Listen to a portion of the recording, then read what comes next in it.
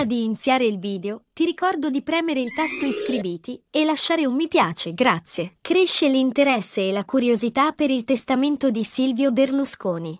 Il patrimonio del fondatore di Forza Italia, quattro volte presidente del Consiglio, secondo Forbes ammonta a circa 6,8 miliardi di euro. Anche se non esiste un calcolo preciso dell'eredità del defunto cavaliere, che comprende azioni, ville e yacht. L'ex moglie di Berlusconi, Veronia Lario, non è tra gli eredi, visto che ha divorziato da Berlusconi nel 2014.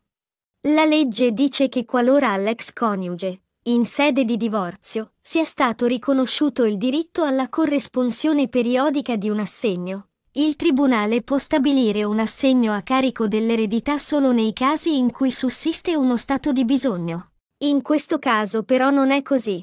Vediamo perché.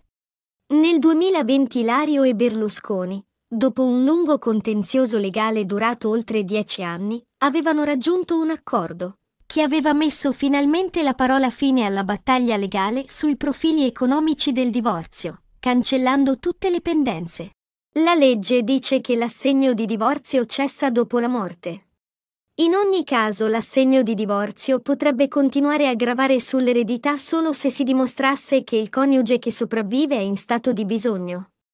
Malario è considerata una persona che vive in una condizione di agiatezza, come ha esplicitamente scritto la Cassazione nella sentenza dell'agosto 2019. Il coniuge divorziato non ha diritti sull'eredità, a meno che non ci sia testamento in suo favore ed è difficile supporre che Berlusconi l'abbia inserita nel testamento. Quindi visto che Berlusconi non ha voluto inserirla negli eredi lei non prendere niente.